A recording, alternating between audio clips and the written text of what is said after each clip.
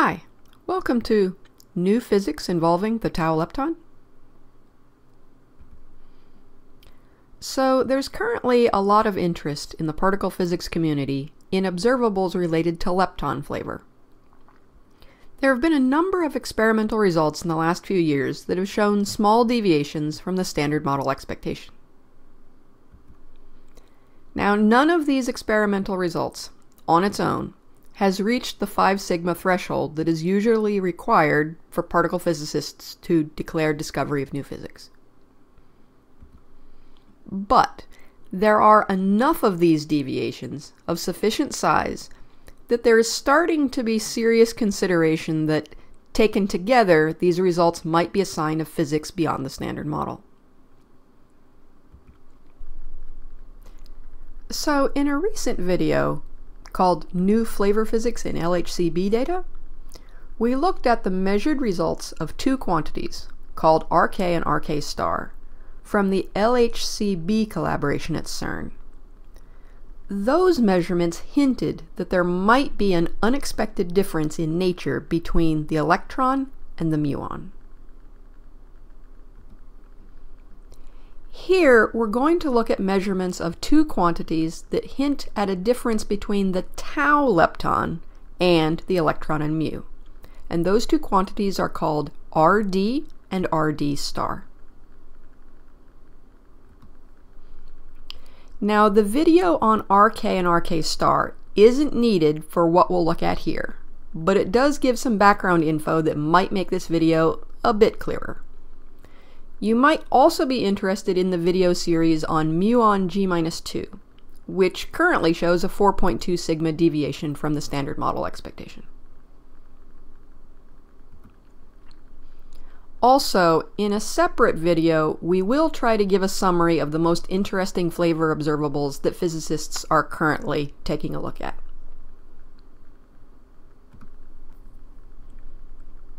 Okay, so let's mention a few references. So the combined result for RD and RD star that will be given at the end of the video is being taken from a paper from the Heavy Flavor Averaging Group. And this paper is a 494 page behemoth, and we're only going to be looking at pages 179 through 183.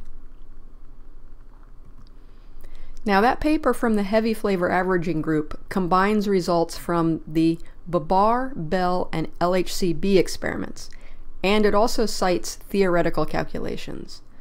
The references for those papers you can find in the video description below.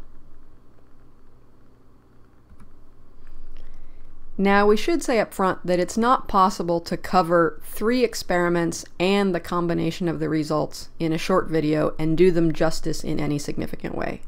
So the discussion here is definitely going to be a bird's eye view of the experimental situation of RD and RD star.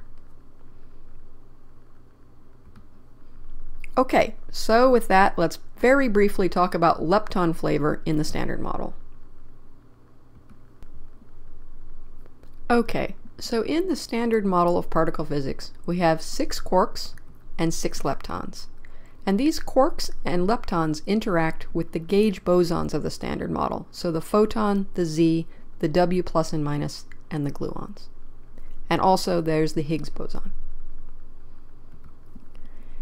Now, the quarks and leptons are arranged into three families and these families are identical except for mass terms of the quarks and leptons.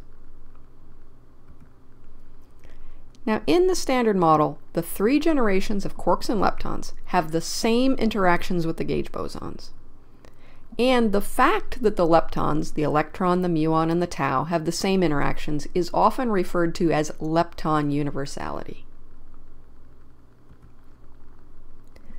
So if we see particle physics processes where the three generations interact differently, except for differences caused by mass terms, that's a sign of physics beyond the standard model. And the experiments discussed here are looking for differences between the interactions of the tau lepton and those of the electron and muon. Okay, so with that, we can start to talk about RD and RD star. And in fact, we're mostly just going to talk about RD because RD star works almost exactly the same way. So let's take a look at a particle called a B meson. It's not a fundamental particle. It is made of a quark and an antiquark. The antiquark is a B antiquark, which we denote B bar. We'll talk about the identity of the quark in just a moment. Now in the standard model, a B antiquark can turn into a C antiquark by emitting a W particle, which then can decay into a positively charged lepton, which we'll call L, and a neutrino. So this gives the process B bar goes to C bar plus a positively charged lepton and a neutrino. Let's apply this process to our B meson. The B antiquark in the B meson turns into a C antiquark, and a positively charged lepton and a neutrino are emitted. The other quark just goes along for the ride, forming what we will generically call a D meson. Now, when people talk about B mesons, they typically are referring to the case where the other quark is an up quark or a down quark. If it's an up quark, the B meson is a positively charged B+, and the D is a neutral particle called a D0 bar. If the quark is instead a down quark, the B meson is a B0 and the D meson is a D minus. Also, we're going to include processes where every particle in this diagram is replaced with its antiparticle. So the cartoon we've drawn here actually represents four different decays, depending on what type of B meson you're starting with. We're going to refer to all of these processes generically as B goes to D L nu. Okay, so now we're ready to talk about the definition of RD. RD is the ratio of the branching fraction of a B meson to a D meson and a tau lepton and a neutrino to the branching fraction of a B meson to a D meson and either an electron and a neutrino or a muon and a neutrino. The branching fraction is just the fraction of the time that a B meson decays in that particular way. The denominator is the average of the electron and muon branching fractions. RD star is the same, but the D meson is replaced with a different meson called a D star. It is very similar to a D meson, but slightly heavier. Okay, so now let's look back at that diagram which mediates these decays that we're interested in in the standard model. In the standard model, the W boson has the same interaction between the three types of leptons, the electron, the muon, and the tau. So it might seem like the standard model prediction for RD and RD star would be 1. However, the tau is much heavier than the electron or muon. This will actually reduce the branching fraction to states with taus and make RD and RD star much less than 1. The standard model predictions for RD and RD star used by the heavy flavor averaging group are 0.299 plus or minus 0.003 and 0.258 plus or minus 0.005 respectively. They get these numbers from averaging results in references 9 through 11 and 10 through 12 that you can find in the video description. Okay, so now we're ready to talk about the experiments. The heavy flavor averaging group look at results from three collaborations. Babar, which was based at SLAC in the USA, Belle, which was at KEK in Japan, and LHCb, which is at CERN on the French-Swiss border. Now, Babar and Belle collide electrons and positrons. They collide them at a center of mass energy of 10.58 GeV. At this energy, you can produce a particle called the upsilon 4s. Babar produced 471 million of these upsilon 4s particles, and Belle produced 772 million of them. Now, the upsilon 4s particle decays to either charged or neutral B mesons more than 96% of the time. So Babar and Belle produced a lot of B mesons.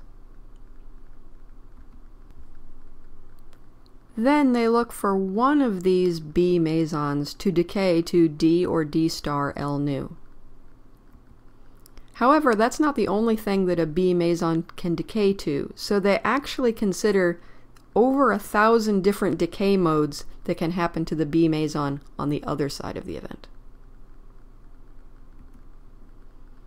Okay, so now LHCb.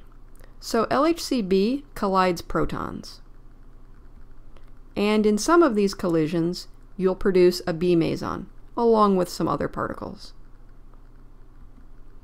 The B meson typically travels some measurable distance before decaying and then LHCb looks for the decay of that B meson going to D star tau nu. Now, here I'm brushing over a lot of very important details, so I'm going to briefly mention some complications here. So the tau lepton actually decays in the detector. It has multiple different ways that it can decay and Babar, Belle, and LHCb make different choices about which tau decays to look for in their detector. Also, the D and D star also decay in the detector. The experiments also make different choices about which D and D star modes to consider in their experiments. And Babar and Belle both measure RD and RD star, whereas LHCb only looks at RD star. Also, Babar and Belle look at both neutral and charged B mesons, whereas LHCb only looks at neutral B mesons. And finally, one very important fact is that there are also experimental background processes which have to be eliminated from your data. So these are processes that are not the process that you're looking for, but that can look like it and be mistaken for it. All of these issues are important, but they're far too much to cover in this short video. Okay, so now we can take a look at the results and combination.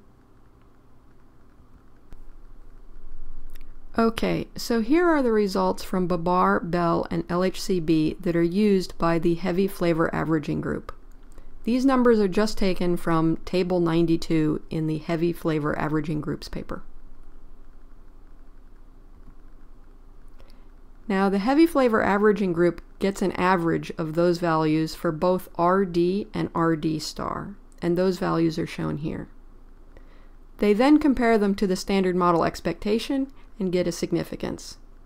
They find that RD is 1.4 sigma above the standard model expectation, and RD star is 2.5 sigma above the standard model expectation. Now, the heavy flavor averaging group combine these results, including correlated uncertainties between the different experiments and between RD and RD star and they get a difference between measurement and the standard model prediction of the combined result of 3.08 sigma. Now, 3.08 sigma is far from the usual discovery threshold of 5 sigma, but the deviation from the standard model expectation is large enough to be interesting. At 3 sigma, oftentimes physicists, although they will not talk about discovery, will start throwing around the word evidence. Okay, so let's briefly summarize. Here we looked at the combination of RD and RD star results from the heavy flavor averaging group collaboration. They considered results from Babar, Belle, and LHCb. They find that the current deviation of the combined results from the standard model expectation is 3.08 sigma. And this is one more piece of the flavor puzzle that is currently under investigation by physicists.